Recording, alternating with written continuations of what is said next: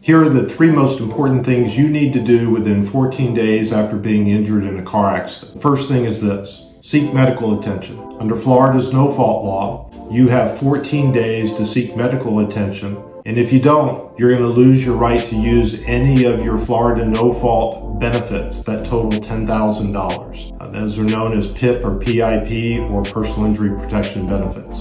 Going to a doctor also serves to document your injuries to the insurance companies. The second thing you absolutely need to know is not to give any recorded statements to insurance adjusters. These insurance adjusters are trained to ask you questions in such a way to minimize the value of your claim without you even knowing it. The third thing you need to do is have a free consultation with an attorney specializing in personal injury law and car accident cases.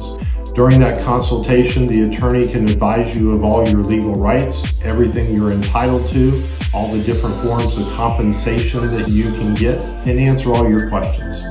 So those are the three most important things you need to do within 14 days after being injured in a car accident.